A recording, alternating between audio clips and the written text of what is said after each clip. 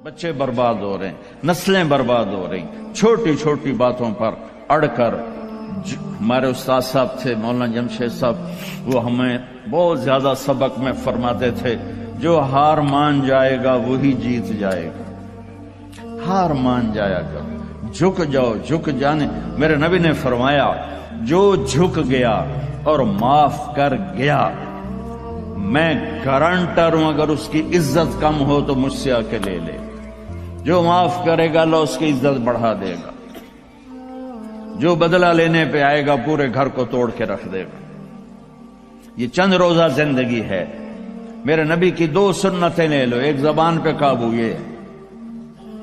इस जबान पे काबू पा लो इस जबान पे काबू पा लो इस जबान पे काबू पा लो तो आपके घरों के नब्बे फ़ीसद मसाइल खत्म हो जाएँगे। और दिल को सबसे साफ़ रखो और अपने एक दूसरे का हाथ बढ़ाओ। अपने बच्चों को अपनी दौलत समझो। इनको यहाँ अच्छा मुसलमान बना के छोड़ो। अब ये नस्ल यहाँ रहने वाली है, वापस नहीं जाएगी। न तुम जाओगे, ना तुम्हारी नस्लें जाएँगी।